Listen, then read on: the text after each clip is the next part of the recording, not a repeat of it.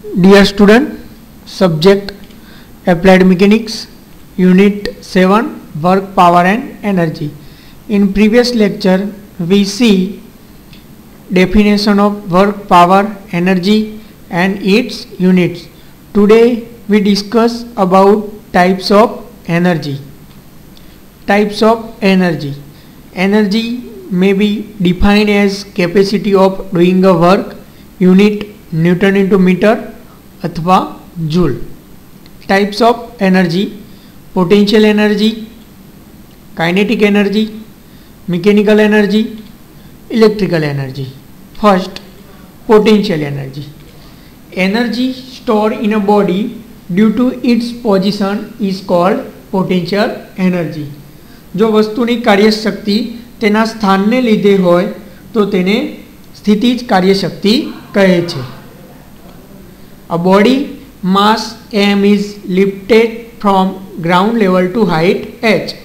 કોઈ એમ માસનો પદાર્થ છે, એને જમીનથી એચ ઊંચાઈએ લઈ જવાનો છે.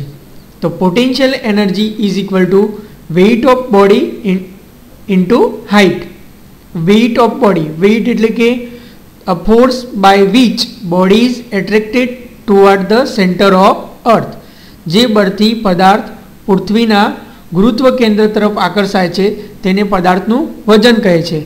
અને માસ માસ એટલે કે matter contain in a body પદાર્થમાં રહેલા દ્રવ્યના જથ્થાને એનું દ્રવ્યમાન કહે છે.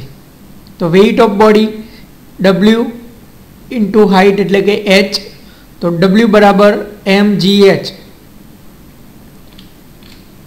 kinetic energy energy possessed by a body by virtue of its mass and velocity is called kinetic energy. જે વસ્તુની કાર્યશક્તિ તેની ગતિના કારણે હોય, તો તેને ગતિ જ કાર્યશક્તિ કહે છે. Kinetic energy is equal to one half M V square તો આ ફોર્મ્યુલા તમારે એક્ઝામ્પલની અંદર આવશે કે કાઇનેટિક એનર્જી ગણતરી કરો, તો એની ફોર્મ્યુલા થશે one half M V square where M is equal to mass V is equal to velocity અહીંયા તમે જોઈ શકો છો પોટેન્શિયલ એનર્જી એન્ડ કાઇનેટિક એનર્જીનું એક્ઝામ્પલ અહીંયા જે એરો છે, તો એની અંદર સ્થિતિના, એટલે કે સ્થાનના કારણે એની ઊર્જા છે, એટલે કે પોટેન્શિયલ એનર્જી જ્યારે તીર અહીંયાથી છૂટે છે, એટલે કે એની અંદર ગતિશક્તિ મળે છે, એટલે કે અહીંયા તમારી એ જે પોટેન્શિયલ એનર્જી છે, એને કન્વર્ટ કઈ એનર્જીમાં થાય છે? કાઇનેટિક એનર્જીમાં એ જ રીતે સેમ આ બલૂનની અંદર એર ભરેલી છે, તો એ એની પોટેન્શિયલ એનર્જી જ્યારે તમે અહીંયાથી એર રિમૂવ કરશો, એટલે કે બલૂન આગળની તરફ ધકેલાય છે, તો એની અંદર શું થશે? કાઇનેટિક એનર્જી ઉત્પન્ન થશે. અહીંયા તમે જોઈ શકો છો એક હાઇડ્રો પાવર પ્લાન્ટ છે, તો એની અંદર અહીંયા જે એક ડેમ છે, આ તમારો છે પેન સ્ટોક તો અહીંયા જે ડેમની અંદર પાણી છે, તો એની અંદર સ્થાનના કારણે એની ઊર્જા, એટલે કે અહીંયા તમારી કઈ એનર્જી થશે? Potential energy. અહીંયાથી આપણે એને પેનસ્ટોક દ્વારા સ્લોપ આપવામાં આવ્યો. તો તમારી જે પોટેન્શિયલ એનર્જી છે, એ એના દ્વારા પેનસ્ટોક અહીંયાથી સ્લોપ આપ્યો, એટલે કે એને કાઇનેટિક એનર્જી મળી. તો પોટેન્શિયલ એનર્જી શાની અંદર કન્વર્ટેડ થઈ? Kinetic energy. અહીંયા તમે જોઈ શકો કે ટર્બાઇન જોડેલું છે. તો અહીંયા તમારી જે કાઇનેટિક એનર્જી છે અહીંયા જે વોટર જે છે એ અહીંયા સ્ટ્રાઇક થશે ટર્બાઇનને તો કાઇનેટિક એનર્જી સ્ટ્રાઇક થશે એટલે કે ટર્બાઇન રોટેટ થશે. એટલે કે કાઇનેટિક એનર્જી મિકેનિકલ એનર્જીમાં કન્વર્ટ થશે. અહીંયા તમે જોઈ શકો કે ટર્બાઇન છે જેને જનરેટર સાથે જોઈન કરેલું છે. તો એના કારણે તમારી જે મિકેનિકલ એનર્જી છે, એની શાની અંદર રૂપાંતર થાય છે? ઇલેક્ટ્રિકલ એનર્જી તો અહીંયા તમે જોયું કે પોટેન્શિયલ એનર્જી જે ડેમની અંદર પાણી હતું સ્થિર, એટલે સ્થિતિના કારણે અહીંયા તમે શું કર્યું એને? સોપ દ્વારા વેગ આપ્યો. તો એ પોટેન્શિયલ એનર્જી કાઇનેટિક એનર્જીની અંદર રૂપાંતર છે. એ જ રીતે કાઇનેટિક એનર્જીનું અહીંયા તમારું ટર્બાઇન મિકેનિકલ એનર્જીમાં રૂપાંતર કરે છે. એ જ રીતે જનરેટર મિકેનિકલ એનર્જીનું ઇલેક્ટ્રિકલ એનર્જીમાં રૂપાંતર થયું. Law of conservation of energy ઊર્જા સંરક્ષણનો નિયમ. તો એ state the energy can neither be created nor destroyed through it can be transformed from one form into any of the form in which the energy can exist ઊર્જા સંરક્ષણનો નિયમ એવું કહે છે કે ઉર્જાનો નાશ પણ કરી શકાતો નથી અને ઉત્પન્ન પણ કરી શકાતી નથી ઉર્જાનું એક સ્વરૂપમાંથી બીજા સ્વરૂપમાં રૂપાંતર થાય છે અને વિશ્વમાં કુલ ઉર્જાનો જથ્થો અચર છે તમે આપણે આગળ જોયું પાવર પ્લાન્ટની અંદર કે ડેમનું જે પોટેન્શિયલ એનર્જી છે એનું કાઇનેટિક એનર્જીમાં કાઇનેટિક એનર્જીનું મિકેનિકલ મિકેનિકલ એનર્જીનું ઇલેક્ટ્રિકલ એનર્જી એટલે કે ઊર્જા સંરક્ષણનો નિયમ એવું કહે છે કે ઊર્જા ઉત્પન્ન પણ કરી શકાતી નથી અને નાશ પણ કરી શકાતી નથી. ઉર્જાનું એક સ્વરૂપમાંથી બીજા સ્વરૂપમાં રૂપાંતર થાય છે. It's mean total energy remain constant without change એટલે કે વિશ્વમાં ઉર્જાનો કુલ જથ્થો અચર છે. Energy can be converted from potential energy into kinetic energy electrical energy into mechanical energy mechanical energy into electrical energy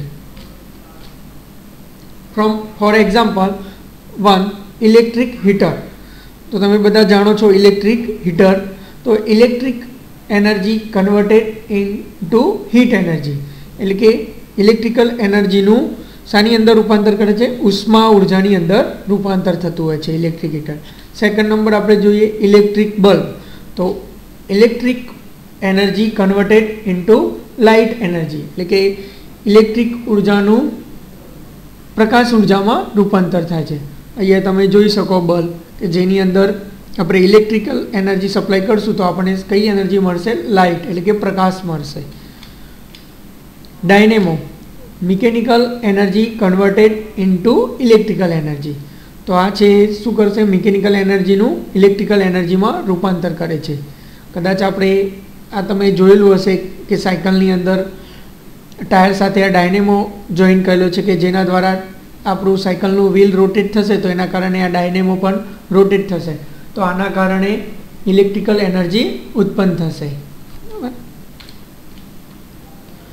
important formula for example તો first work is equal to W બરાબર એફ ઇન્ટુ એસ તો આ એક આ ચેપ્ટરની અંદર તમારે example આવશે. જેના માટેની જે મહત્ત્વની ફોર્મ્યુલા છે, એ તમારે આ યાદ રાખવાની છે. તો ફર્સ્ટ વર્ક ડબલ્યુ બરાબર એફ ઇન્ટુ એસ એટલે કે વર્ક એટલે કે કાર્ય બરાબર એફ ઇન્ટુ એસ એટલે કે F is equal to force અને S is equal to displacement તો તમારે આ એક્ઝામ આ ચેપ્ટરના એક્ઝામ્પલ હશે તો એની અંદર ફોર્સ તમારે શાની અંદર લેવાનું છે ન્યૂટનમાં. ફોર એક્ઝામ્પલ કે તમને કોઈ એક્ઝામ્પલની અંદર ફોર્સ બરાબર ટેન કિલો ન્યૂટન હોય, તો તમારે શાની અંદર કન્વર્ટ કરવાના ન્યૂટનની અંદર. ડિસ્પ્લેસમેન્ટ મીટરની અંદર આવશે.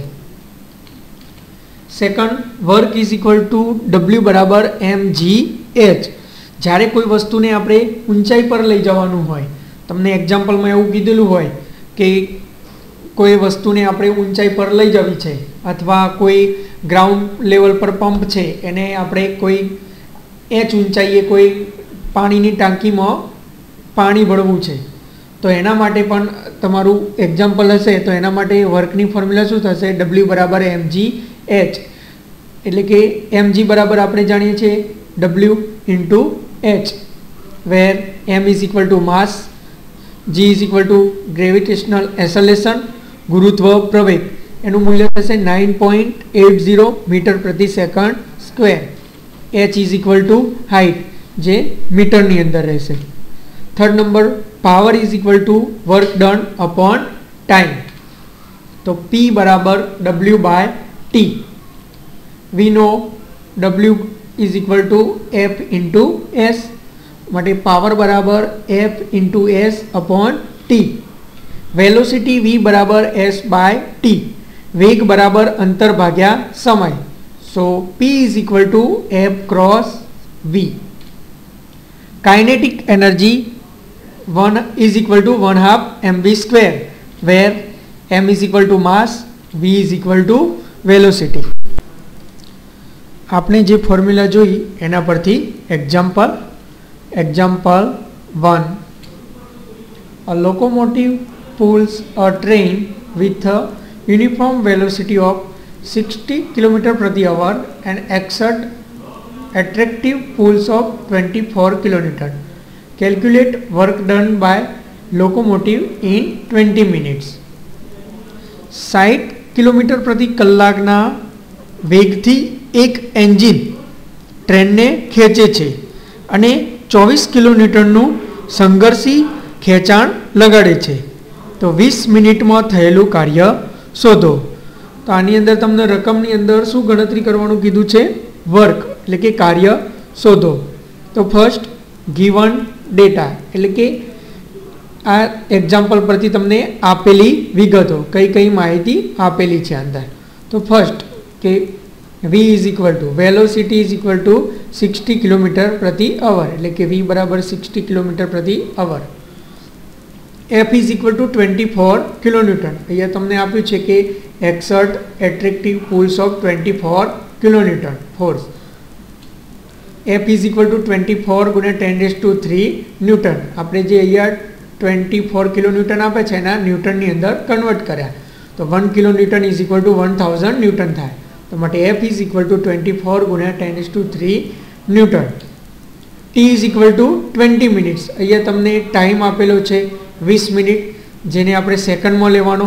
એટલે કે T is equal to twenty into sixty કારણ કે એક મિનિટ બરાબર સાઠ સેકન્ડ થાય. માટે ટી બરાબર ટ્વેન્ટી ઇન્ટુ સિક્સટી એટલે કે one two double zero second. શોધવાનું છે આપણે વર્ક એટલે કે ડબલ્યુ બરાબર ક્વેશ્ચન માર્ક આપણે કર્યો. અહીંયા આપણે વર્કની ફોર્મ્યુલા થશે કે ડબલ્યુ બરાબર વર્ક ડન ડબલ્યુ બરાબર એફ ઇન્ટુ એસ તો આની અંદર તમને વર્ક શોધવું હોય તો આપણા જોડે એફ અને એસ બે મૂલ્ય હોવા જોઈએ. તો અહીંયા રકમની અંદર તમને એફ આપેલો છે. એસ શોધવો પડશે.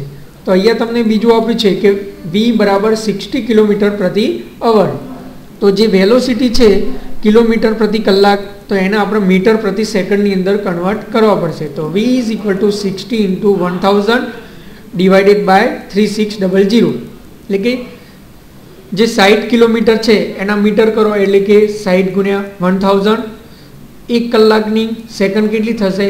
તો છત્રીસો સેકન્ડ. તો માટે V is equal to one six point six seven metre પ્રતિ સેકન્ડ. આપણે જાણીએ છીએ કે વેલોસિટી બરાબર અંતર ભાગ્યા સમય કે વી બરાબર એસ બાય ટી તો ઇઝ ઇક્વલ ટુ એસ બરાબર વી ક્રોસ ટી અહીંયા એસના આપણે કરતા કરીશું એટલે વી ક્રોસ ટી તો S is equal to velocity આપણને જે શોધી one six point six seven into time time આપણને આપેલો છે કે વન ટુ ડબલ ઝીરો માટે એસ બરાબર two three zero four metre તો તમારું જે એસ ડિસ્પ્લેસમેન્ટ હશે એનો જવાબ મળ્યો. હવે વર્ક ડન બરાબર ડબલ્યુ બરાબર એફ ઇન્ટુ એસ તો એફ આપણને રકમમાં આપેલો છે માટે ડબલ્યુ બરાબર ટ્વેન્ટી ફોર ગુણ્યા ten raise to three into two three time zero four તો ઇઝ ઇક્વલ ટુ આપણો આન્સર આવશે ડબલ્યુ બરાબર forty eight into ten raise to seven newton into metre અથવા જૂલ વર્કનો યુનિટ થશે ન્યૂટન ઇન્ટુ મીટર અથવા joule એ ખાસ લખવાનું ભૂલવાનું નહીં. થેન્ક યુ નેક્સ્ટ ટાઈમ આપણે બીજા એક્ઝામ્પલ જોઈશું.